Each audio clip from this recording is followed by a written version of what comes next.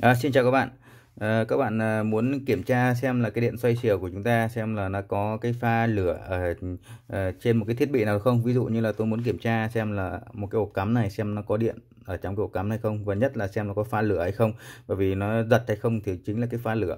Thì thường chúng ta sẽ dùng một cái bút thử điện và chúng ta sẽ thử trực tiếp vào cái pha lửa này chúng ta cắm trực tiếp pha lửa thì các bạn có thể nhìn thấy khi mà chúng ta cắm trực tiếp này thì cái đèn đây có cái đèn đây nó sẽ sáng lên Đấy, còn nếu như mà pha nước của nó thì là nó sẽ không sáng đèn.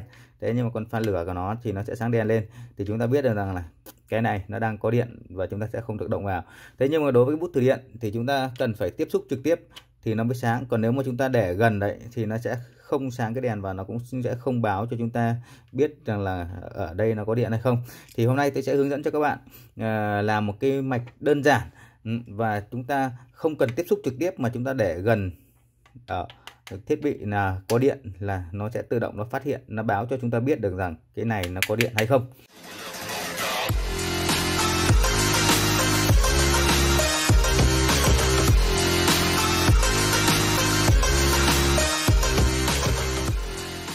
Mạch của nó gồm các cái linh kiện sau. Đầu tiên là chúng ta cần phải có hai con transistor con chan này là con đây đây là hai con chan to đây. Con chan này cơ mã của nó là C1815 các bạn chuẩn bị cho mình hai con C1815 này. Một bóng đèn led Đấy, các bạn thích màu nào cũng được nhưng bóng này là bóng màu đỏ. Và một cái cuộn uh, dây. Bạn cuộn cuộn uh, nhiều vòng uh, để cho nó làm tăng cái độ nhạy thôi. Và ngoài ra chúng ta sẽ cần một cái nguồn nuôi. Các bạn sẽ dùng một cái pin cái pin các bạn dùng pin nào cũng được nhưng mà miễn sao nó khoảng à, 3,7V như pin này là 3,7V các bạn có thể tận dụng hoặc là mà các bạn có những cái đèn pin ờ, siêu sáng bây giờ các bạn có thể dùng cái pin tròn đấy cũng được. Hoặc là mình có thể lấy cái pin ở trong các cái quả laptop cũ ấy, nó hỏng ấy thì mình có tận dụng các cell pin đấy mà nó dùng được ấy thì là chúng ta vẫn có thể dùng được. Rồi cái mạch của nó thì nó sẽ như sau. Đây các bạn có thể nhìn thấy cái sơ đồ mạch của nó đây. Thì hai cái con transistor C1815 này thì nó là cái con ờ, uh, transistor ngược NPN đây thì cái cái ký hiệu của NPN đây là hai con transistor đây. Đây thì các bạn có thể nhìn thấy nếu các bạn nào mà đã dành điện tử rồi thì các bạn cũng sẽ biết được còn nếu các bạn chưa dành ấy, thì các bạn có thể nhìn thực thực tế cái hình nó như này. Đây đây là cái cái cái đặt. Đây cái cái transistor thì nó sẽ có một mặt tròn và một mặt khuyết. Thì đây là mình đặt thẳng thẳng nó như này. Thì nó tương ứng với cái hình nó như này. Đó. Như vậy ở đây theo cái hình như thế như này thì các bạn có thể nhìn thấy đây. Thì đây là chân E này. Đấy, chân C và chân B. Còn nếu như mà đặt nó chốc ngược mình sẽ nhìn từ dưới lên. Đấy. thì là theo cái hình như này. Đấy các bạn cũng dễ ờ, hình dung thôi nó không có gì cả. Đấy, như thế này thì nó sẽ là cái hình ECB đây là các cái chân của nó. Thì cái cách đấu của nó sẽ như sau. Các bạn đấu theo cái sơ đồ này. Đấy, transistor 1 thì sẽ chân C sẽ đấu với chân C. Sau đó là hai chân này nó sẽ đấu tới cái đèn led cái đây là cái đèn led này. Đấy, cái đèn led của chúng ta chân âm của đèn led Đấy, còn chân dương của đèn led sẽ đấu vào một nguồn dương của cục pin 3,7V Đấy, còn nguồn âm cục pin sẽ được nấu vào cái chân E của cái con transistor này. Đấy, còn chân E của con transistor số 1 Đấy, đây là số 2 Đấy, sẽ được nấu với chân B của con transistor thứ hai. Và cái chân B của cái cái con transistor số 1 sẽ được đấu vào một cuộn dây. Đó thì từ cuộn dây này chúng là cái để chúng ta sẽ già già ở các cái mặt để chúng ta sẽ phát hiện xem là có điện hay không.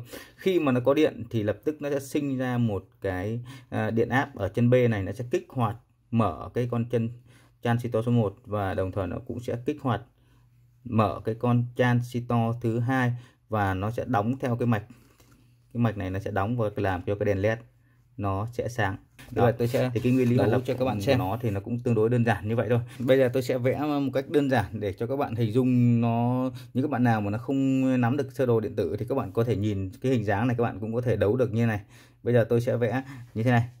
Đây đây là biểu tượng của hai con transistor đây, đây là chân chân ba chân ở dưới ba chân ở dưới. Đó thì các bạn đặt đúng theo cái hình như này. Đây, thì là coi khi bạn bạn bạn sẽ đặt như thế này. Đây là cái mặt dẹt nó nằm phía trên. Thì là hình nó sẽ đúng theo đặt như này. Thì chân của nó sẽ là E ECB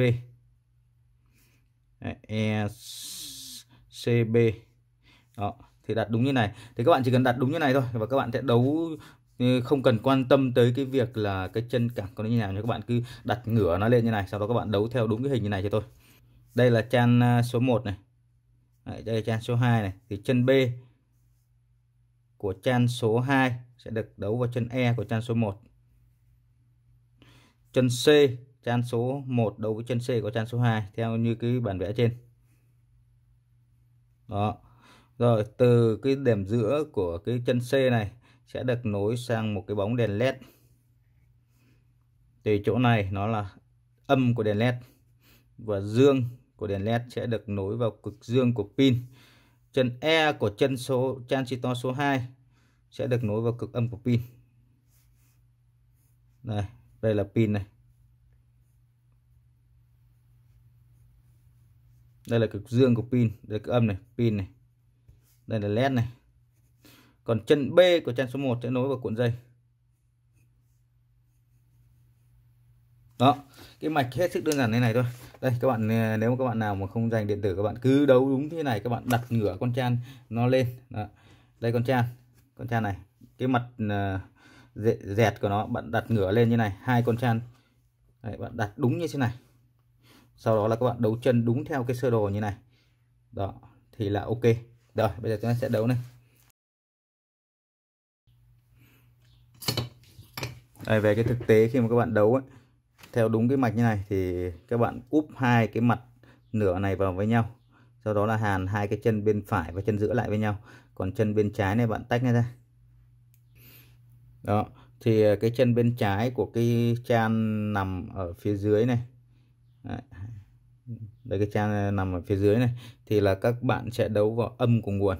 Còn cái chân bên trái của cái chan nằm phía trên này thì bạn sẽ đấu vào cuộn dây đấy, còn cái chân ở giữa này các bạn hàn dính nó với nhau sau đó là đấu vào led. Đấy cái cách đấu là vậy rồi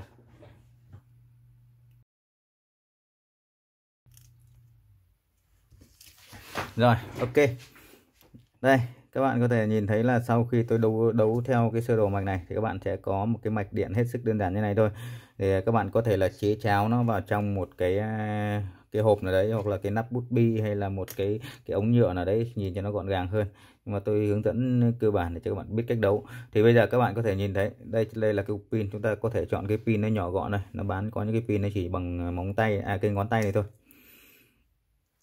Đây thì các bạn có thể nhìn thấy đây là cái đèn xe led này. Khi mà chúng ta chạm gần tiếp xúc nếu kể cả chúng ta đây là không có điện tay không có điện nhé nhưng mà chúng ta tiếp xúc nó vào đấy, thì đèn led nó cũng sáng này. Đó. Đấy bây giờ chúng ta sẽ thử xem. Hiện tại bây giờ là cái này nó đang có điện này thì tôi sẽ thử lại cho các bạn xem đây. Đây là cái bằng bút thủy điện này. Đấy, đây là cái pha nóng này các bạn có thể nhìn thấy cái đèn đèn nó, nó, nó sáng đấy. Đó thì bây giờ tôi sẽ thử ra ra ở trên cái cái này xem là cái đèn led nó có sáng hay không để các bạn có thể nhìn thấy đây. Đấy các bạn có nhìn thấy không?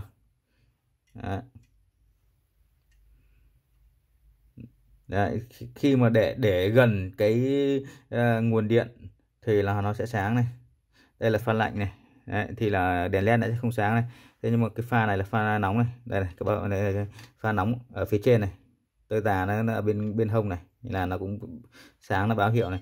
Đó. Thì cái này nó có ứng dụng cũng rất hay ở chỗ là chúng ta khi mà chúng ta không thể tiếp xúc được với nguồn điện mà nó cách ở một cái lớp nào đó thì chúng ta có thể già rà như này. Là chúng ta có thể là phát hiện được xem là cái đường điện nó như thế nào. Đấy. đây cái dây của nó đây. Cái dây tôi, tôi có thể già cái dây này đó. để gần gần dây thôi cũng không cần tiếp xúc đâu là đèn len đã sáng rồi Đấy, các bạn có nhìn thấy cái đèn len không đó, toàn nó đã sáng này. Đó.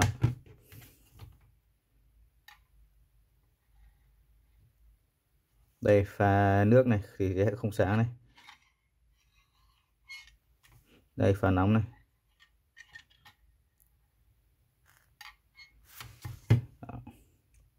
Đó. Thì bây giờ các bạn uh, có thể là chế tạo dùng một cái ruột này mình ờ, bút bi hoặc là một cái ống to hơn một chút mình có thể nhét tất cả những cụm linh kiện này vào trong. Còn cái đầu giò này mình sẽ quấn quấn ở một cái đầu nữa. Xong bắt đầu mình sẽ đi mình già già. Cái cái kiếm lấy một cái viên pin nó nhỏ thôi. Là các bạn đã có thể là có một cái bút thử điện không tiếp xúc rồi. Rồi ok. Tôi vừa chia sẻ và hướng dẫn cho các bạn chế tạo một cái bút thử điện không tiếp xúc. Ờ, đây là một cái mạch điện ờ, ứng dụng rất nhiều trong cái cuộc sống và nhất là cho những anh em mở sửa chữa điện tử. Vâng cảm ơn ờ, các bạn đã chú ý theo dõi. Hẹn gặp lại các bạn trong các video sau nha. Chào các bạn.